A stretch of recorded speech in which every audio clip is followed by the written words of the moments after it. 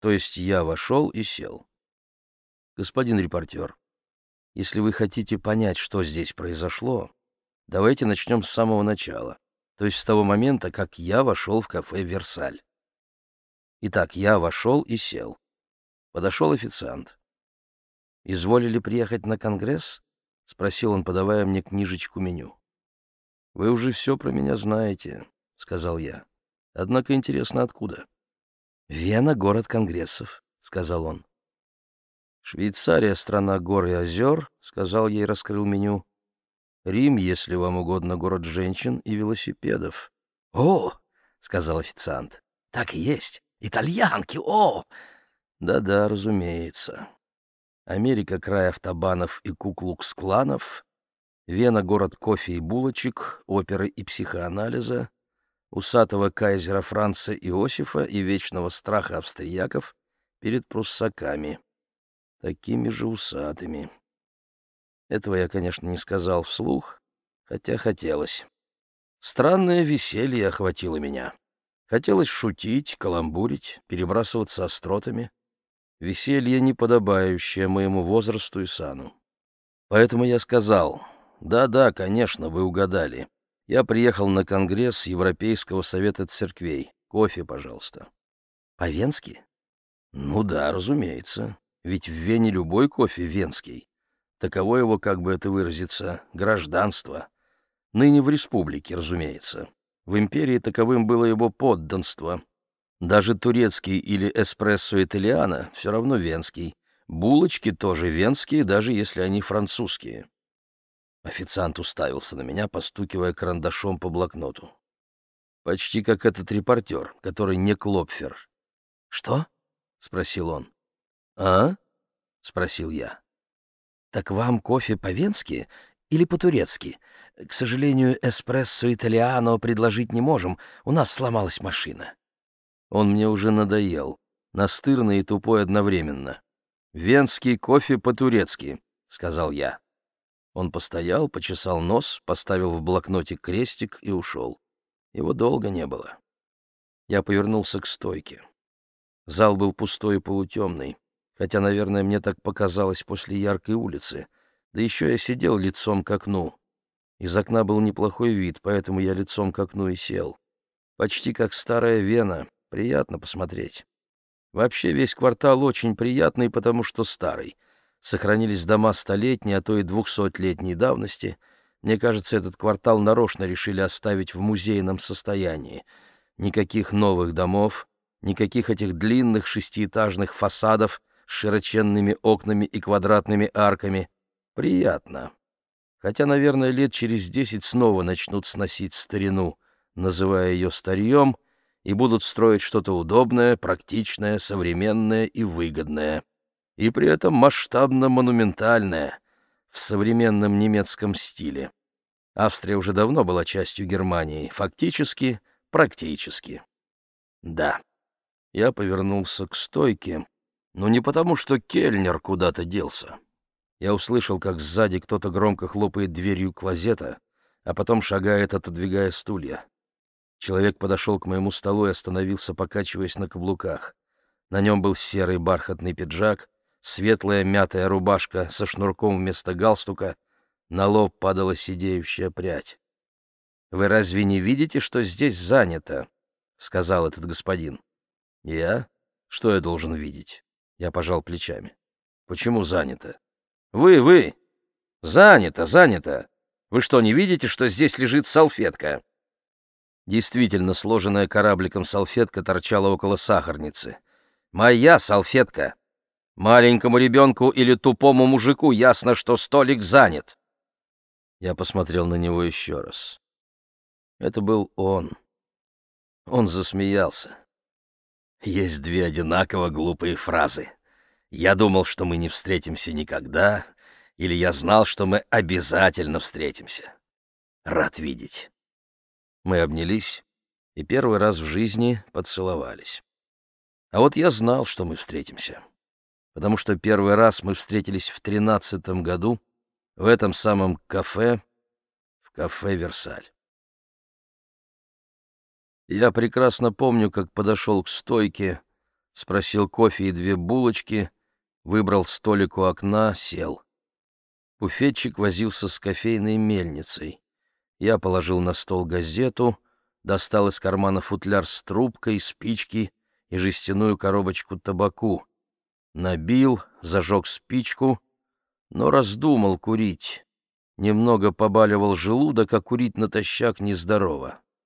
Впрочем, кофе натощак пить нездорово тоже, но я решил сначала съесть одну булку и даже запить ее водою, и крикнул официанту, чтобы он принес мне еще стакан воды. Погасил спичку, помотав ею в воздухе, я всегда так гашу спички, сломал ее и кинул в пепельницу. Я часто переламываю пальцами погасшую спичку. Должно быть от того, что правая рука у меня слаба от болезни или от природы. От природной болезни, так сказать. Пальцы у меня слабы, и мне хочется хоть иногда хоть что-то слабыми своими пальцами сломать, вообразить себя сильным на мгновение. Итак, я бросил сломанную спичку в пепельницу и почувствовал, что мне надо по малому делу. Я несколько секунд колебался — потому что по малому делу мне хотелось не очень так уж сильно. Можно было сначала съесть булочку с водой, потом выпить кофе со второй булочкой, потом спокойно выкурить трубку и уже на прощание сходить в клозет. И это было бы тоже неплохо. Но я решил сходить в клозет перед кофе и булочкой, чтобы получить от этого венского завтрака полнейшее удовольствие, не омраченное даже легчайшим тревожным позывом. Эмигранты — народ небогатый, поэтому приходится экономить и рассчитывать все, включая простейший телесный комфорт. Рассудив таким образом, я заткнул набитую трубку свернутым с бумажной салфетки шариком, чтобы не высыпался табак, положил трубку обратно в футляр, защелкнул, положил в карман, а жестяную табакерку, спички и газету оставил. Спросил у буфетчика про клозет и он тут же выдал мне пакетик порошкового мыла и маленькое вафельное полотенчико. «Сколько?» — спросил я. «Клиентам бесплатно», — сказал он. «Прекрасно». Я долго мыл руки и даже сполоснул лицо перед небольшим зеркалом, по бокам которого были матово вырезаны всегдашние венские плакучие ирисы. Вытерев руки, я бросил полотенце в специальную корзинку сбоку раковины и вернулся в зал — с неудовольствием я увидел, что за моим столиком кто-то сидит. Не доходя до него шагов пяти, я остановился и заложил руки за пояс и покачался на каблуках. Потом кашлянул. Он поднял голову и поглядел на меня с нарочитым равнодушием. Он как будто делал вид, что меня не замечает. Потом скосил глаза в сторону. Я рассмотрел его внимательно. Это был молодой человек лет двадцати с небольшим, скорее худощавый, с широким носом и прыщеватым лбом, с черными волосами, которые спускались на лоб, со злыми губами. Глаза же его большие и темные были выразительны и, пожалуй, даже красивы. Они делали его заурядное и нечистое, в самом прямом смысле нечистое лицо. Пойти бы ему сейчас умыться. Глаза делали его лицо притягательным и значительным. Щеки его ввалились, Шея была цыплячья, но ее окружал почти свежий белый воротничок с бархатным шнурком. Он барабанил по столу пальцами. Руки его были удивительно хороши. Почему-то они напомнили мне руки моего отца, хотя похожего ничего не было. У отца были корявые ручищи с разбитыми, вечно черными ногтями, руки рабочего, мастерового, сапожника. Отец и был сапожником — у него руки пахли дегтем и ржавчиной, кожей и клеем, но я любил руки отца, любил прижиматься к ним лбом, когда отец, выпив стакан вина после обеда и, выйдя посидеть наружу, вдруг неожиданно задремывал, откинувшись затылком на деревянную стену нашего домика, чуть сползши со стула, сложив руки на животе. А я тайком, приблизившись, играл его руками, целовал и нюхал их, и не было лучше сына в те мгновения, о которых мой бедный папаша так и не узнал, наверное. Один раз, правда, я попробовал ему трезвому руку поцеловать, но он меня грубо и даже испуганно шуганул. При чем тут отцовские руки? Да ни при чем. Просто у этого молодого человека были очень красивые руки. и они мне тоже понравились, как в детстве нравились совсем другие руки моего отца. Даже сердце занялось на полсекунды. А у этого, наверное, пальцы пахли дешевым одеколоном в лучшем случае. И вообще он был похож на венского подонка, как и Иниста и Урнинга, какие во множестве шлялись по здешним переулкам. Особенно черные усы. Черные плебейско-негодяйские усики, как у Шарло из комических фильмов. Впрочем, он мог быть и художником. Хотя художник, подонок, какая разница? «Что вы на меня глядите так?» — прервал он молчание. «Этот столик занят», — сказал я. Он молчал. «Столик занят», — повторил я. «Простите?» — сказал он. «Вы понимаете по-немецки?» — спросил я. Разговор велся по-немецки, разумеется. «Понимаю», — сказал он после паузы. «Понимаю также, что немецкий язык для вас не родной. Вы иностранец? Турист? Эмигрант?» «Какое это имеет значение?» — возмутился я. «Я нахожусь в Вене на законных основаниях». «Никакого, совершенно никакого значения», — успокоительно сказал он. Если у вас есть паспорт, то все в порядке. У нас правовое государство. Вы собрались проверять у меня паспорт? Тогда прежде предъявите удостоверение полицейского агента. Я пошутил, сказал он. Простите, если слишком резко. Иностранцы бывают излишне чувствительны к нашим безобидным, но грубоватым шуткам. Он голосом подчеркнул слова «иностранцы» и «наши». «Но вы меня извиняете? «Скажите, скажите», — напирал он, — «вы меня извиняете?» «Извиняю, разумеется». Я пожал плечами. «Отлично», — сказал он. «Итак, э, что вам угодно?» «Нет, это вам что угодно», — возмутился я. «Не понимаю ни хрена собачьего», — сказал он на отвратительном венском диалекте. Внезапно. Только эти слова. «Это мой столик», «У вас есть собственность на столике в этом кафе?» — усмехнулся он.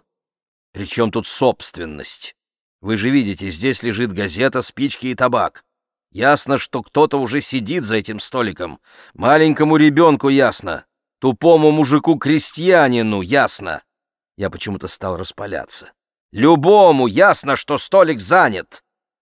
Я перевел дыхание, постарался успокоиться, ввести себя в рамки — хотя мне это трудно далось.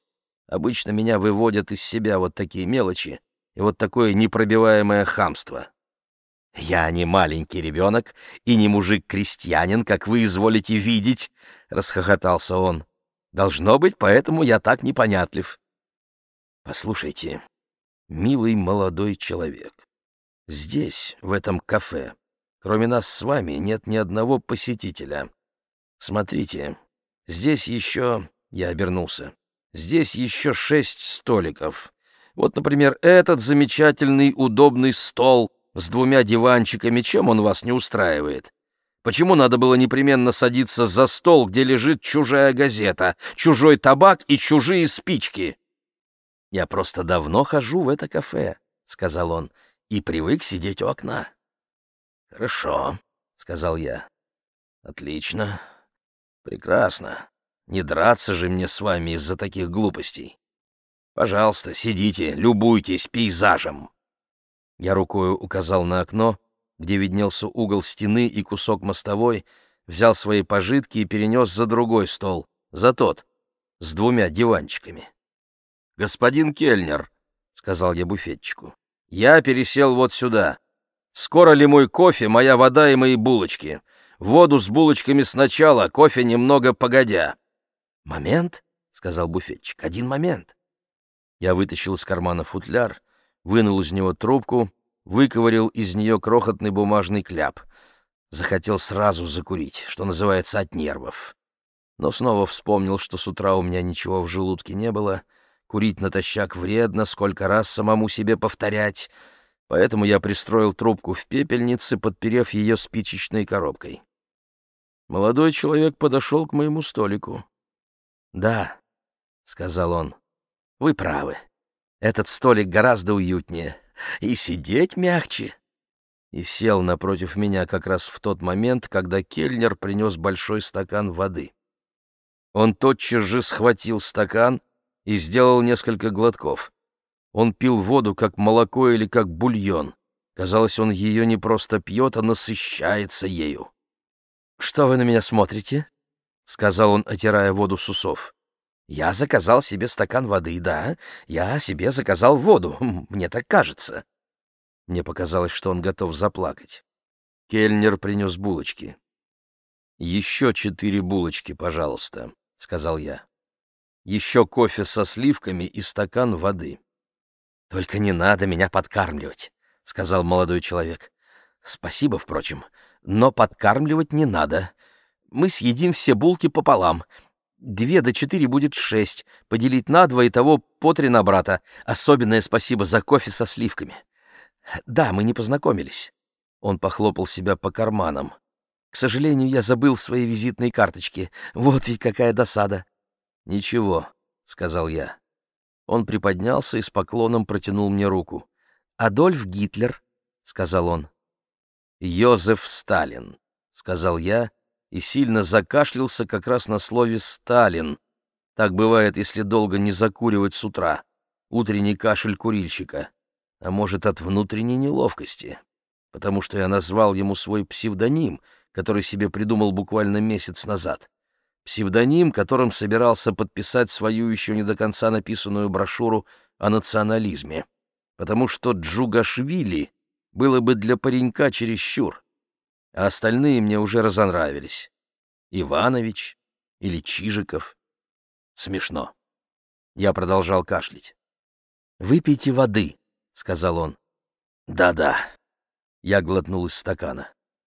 «Итальянец?» — спросил он. Возможно, ему послышалось «Талини» или что-то в этом роде. Возможно, так оно и было, потому что я закашлялся, произнося свое новое имя.